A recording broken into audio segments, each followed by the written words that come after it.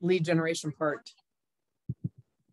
All right, so we are going to cover some ways that you can improve your lead generation, improve your efficiency, and talk to more people in less amount of time. Okay, so let me share a slide here. So you've probably been to events. Uh, you certainly know people because there's someone on this call that fits this description that they just have they've been like the Cal Ripken of lead generation where they just lead generate almost like a machine and you kind of look at them and go like there must be something different about them because they can do that and I don't seem to be able to. Is it possible that they might have a different perception of time? Maybe. You know, and I mean that in terms of like they might be, you know, maybe they're slightly better at committing to a time block and sticking with it but for the most part, they're just like you. They just figured out how to use the way our brains work to make it something that you do all the time. Um, so I am going to go through this real quick. And this is setting the stage. Like if you want to become one of those people up on the stage at family reunion where Gary goes, and here comes, uh, you know, Betty Lou Bick Bick and Betty Lou, you have hit your lead generation schedule um, every week that you've worked for the last three years. Tell us how you did that. I am sure Betty Lou is incorporating some of the things we're about to go over. So, one of the most critical parts is you want to set a powerful environment. You want to engage all of your senses and satisfy all of your senses' comfort levels while you set out to lead generate. So, the way that you do that it's critical that you have a clear line of vision with no distractions, even in your peripheral vision. So it is really important. You do not have stacks of unopened mail. You do not have the file that's supposed to close tomorrow, like uh, sitting in the distance or open on your computer. Um, you cannot have the tickets for the concert you're going to uh, where your friend just bailed and said they're not going to go. No, you, none of that can be in your peripheral or line of vision. You want an incredibly clear space. Um, I'm looking at my mad scientists out there. They're like, oh no, I love having all my stuff around me. You know, uh, no. If you want to be an efficient, incredible lead generator, this is a time where you need clear vision. You want a representation of your big why in front of you. That could be a dream board it could be a picture of your family. It could be uh, the logo of the charitable organization that you want to create for yourself. You know, you want some representation of Big why in front of you. You want a mirror in front of you. A mirror is critical. It has been shown over and over. You will smile more when there is a mirror in front of you than if you do not have a mirror. And if you're doing lead gen over the phone, smile, smiling comes through. People can, people hear you and your voice and tonality in a different way when you're smiling than when you're not smiling. So you, it's very critical to have that mirror. You may also have your scripts in front of you. Um, you could possibly have, uh, you know, a, a uh, appointment target goal in, in front of you but you want only powerful things that are shooting, you know, pushing you towards why you're doing this in your vision and no distractions in your vision. Um, you want to have a scent, one of your favorite scents, and this is very underutilized. And if you've done any research on how human brains work, our sense of smell is way more powerful than we give it credit for. So if you pick one of your favorite scents and get a high quality candle. I actually have one of mine. I thought I had it handy. It looks like I have this, but I don't have the lid. So if you get a, candle that has a lid, um, oh, there's the lid. And that scent is just for lead generation. So this, this candle here lavender, jasmine, chamomile. Make that your lead generation candle. When you sit down to lead generate, you open the lid. You don't even have to light it. If it's a quality candle, you're going to smell the scent anyway. Um, and you leave it open. And as soon as you're done lead generating, you close it. Guess what you'll do?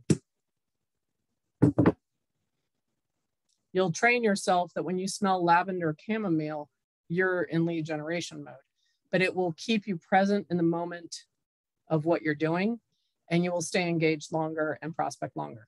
I know it sounds funny. If you feel like it and have the time, do the research, you'll be shocked at what you find. Um, hearing. So you want to put your phone on do not disturb, especially if you're lead generating from your cell phone. You have got to put it on do not disturb. So do not disturb, no text messages or phone calls will come in other than the ones you've designated as an emergency number. Um, you're not going to have a, a, a purposeful where you get in that groove and you keep everything going. If you have distractions, either visual, text, uh, phone calls, or people coming in and talking to you, it, it will throw you out of your groove and you will not stay with it and you will not get it done. So the other, so you want to have phone, this is part of hearing uh, and sight, I guess, because you'd see it coming in. Um, so put your phone on do not disturb and put on music on low volume. I would say probably secondary to smell. Um, this is the other underutilized uh, factor that can keep you lead generating.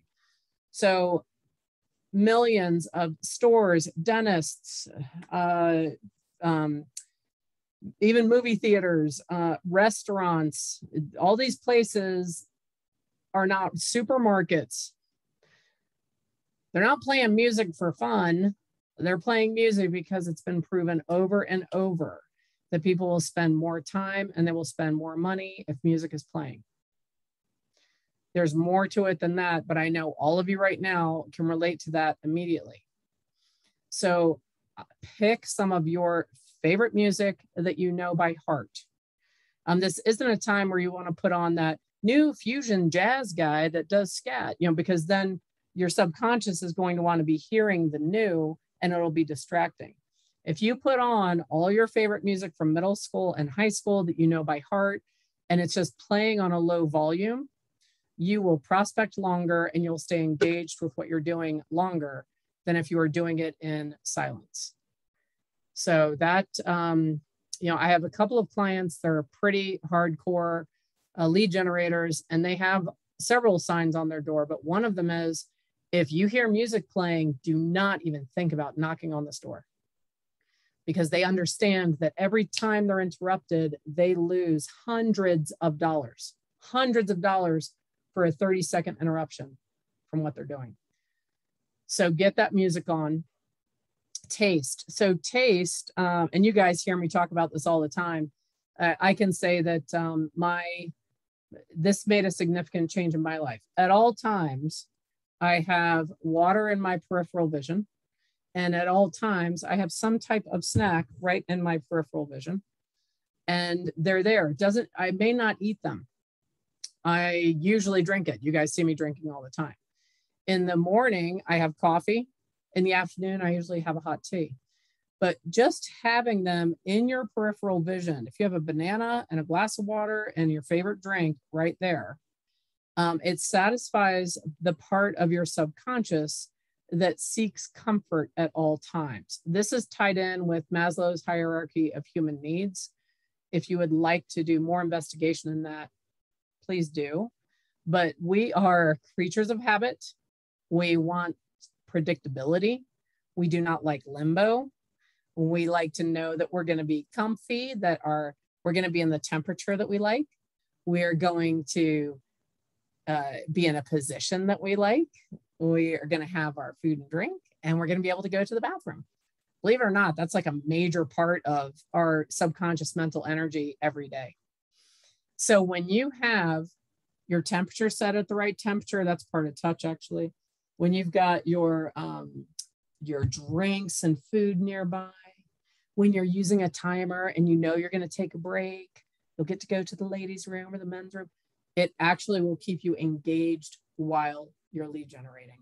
And finally, you have to satisfy your uh, your sense of touch. So one of the reasons my lead generation candle lid was over where I coach is this is currently what I have been holding to satisfy my touch.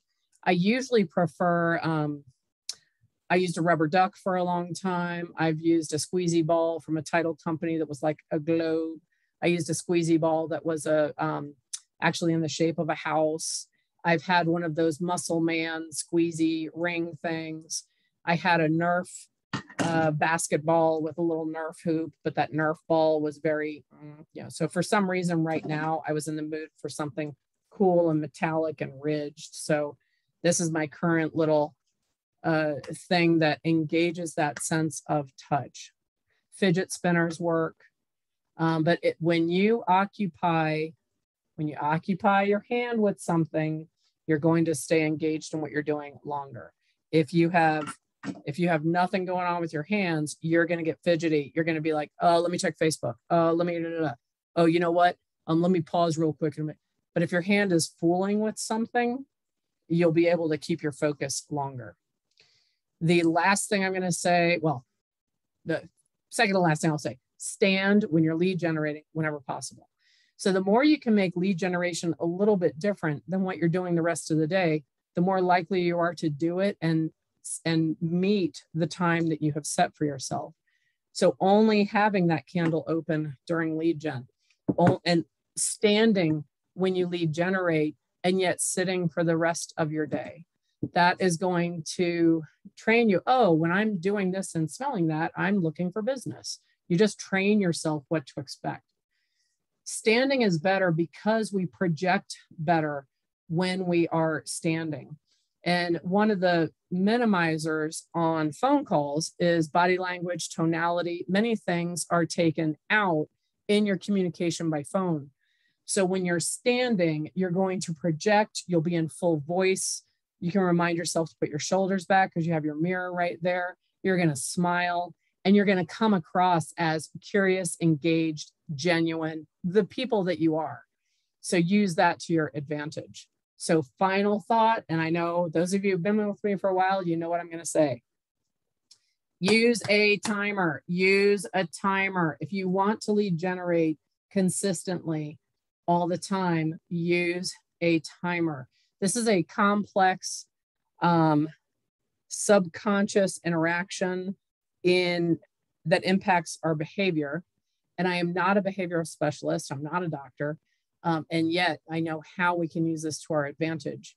So, again, as I mentioned, in life every day, we are seeking patterns, predictability. Is that safe? Is it unsafe? Do I know them? Do I not know them? Who's that? What's that? Who, you know, what, what am I hearing? What am I seeing? And we're processing millions of bits of information every second. Um, we do not like limbo think about when you were supposed to hear back from a buyer's agent on whether they accepted the counter and they said, I'll call you in an hour and it's the next day. Do you enjoy that time while you're waiting to hear from them? No. You went on a great first date and you thought it was something promising and uh, they say, oh, let's talk tomorrow. You don't hear from them. Or they don't even say that. They're like, oh, I had a great time. And you all leave and there's no next step you're in that limbo. That does not feel good to anybody, right? So that what we're talking about here ties in with this. If you're wondering, what does that have to do with what she's talking about? If you come in and you're like, that's it, I'm going to lead generate today. I'm going to go till I pass out. I'm going to go till I wet my pants. I'll put on the depend. I'm not even going to stop to go to the bathroom. And I'm just blah, blah, blah. And, you know, don't even talk to me. I'm lead generating. Mm-mm-mm, right. And then you start and you actually do that, you know, so then you're stuck on the phone with someone that's a possible deal and you're about to wet your pants. That is not fun or comfortable, right? And then you you hang up the phone, you're like, get out of my way, where you might have to get a key for the bathroom. You know, and it's like, oh, then you go in there, you're dying of thirst, you're starving. When you do that, you actually train your subconscious that lead generation equals discomfort, uncertainty, don't know when it will end. Uh, you know, there's no pattern, there's no predictability. When you use a timer and you say to yourself, all right, I'm setting this timer for 55 minutes, and I'm going to make calls till that timer goes off. And then I'm going to set the timer for five minutes. I'm going to walk outside, go to Lay's room, refill my coffee, and that's my break. And then I'm going to set the timer again for 55. And I'm going to end every time with a break. Believe it or not, our subconscious likes little rewards. Um, can you see how that you're going to train your subconscious? Oh, lead generation. That's totally predictable. We go for 55 minutes and get a break. It's awesome. Get to go outside and say hi to the front desk lady. And then I do it again. But you're creating that scenario of you know what to expect and it's predictable and it is a pattern. And that is what human beings love and crave.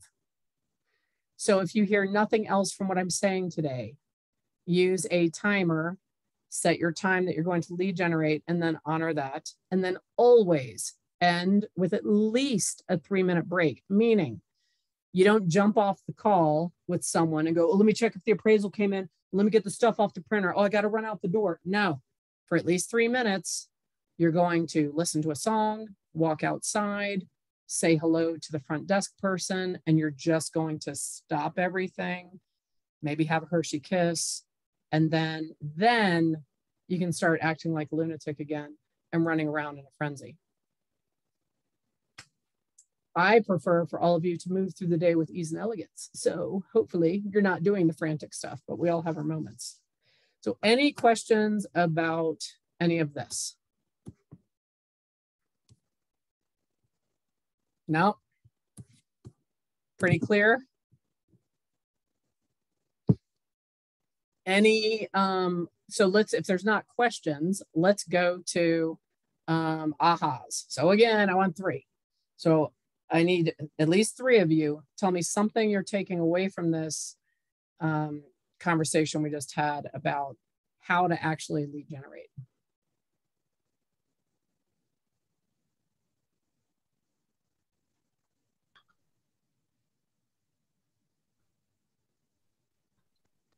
I like to go. Hi, Bridget. Um, okay. Showing up ready, you know, do the research prior to and then dedicate the time. Yes be prepared with the environment set up. I think that's the, the, the biggest aha for me.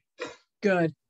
It's the environment's super critical. And I love that you shared that, you know, uh, and that is um, ultimately a part of it as well. Know who you're going to call before you even start, you know, uh, and so you've, you've done that prep work, you know what you're going to do, and then set that environment and set the timer. All right. So thank you for sharing that. Let's get two more. Two more. I've, you guys are, you all need more coffee this morning.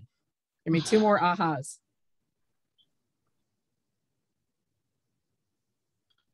I think it's things just that are conducive to make you do what you need to do. Um, like I like the candle. I wouldn't have thought of that to associate a smell with something that you're doing. I think, and it's funny, even the soft music. Um, I found a meditation channel, and like that's just soothing. So yes. it helps your mood to have a more pleasant conversation, even if you, and obviously if you're lead genning, it's not a heated topic. Um, but like you said, how you get annoyed with an agent when they should have called you back the same day and they didn't.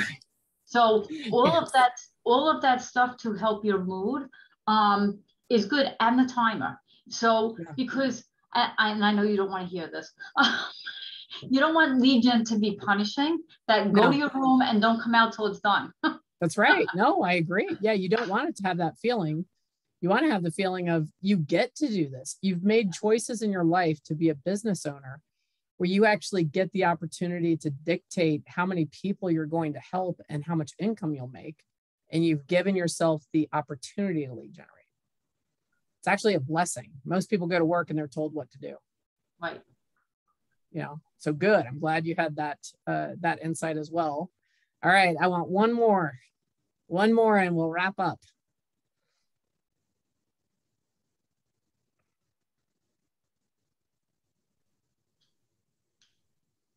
Not all at once.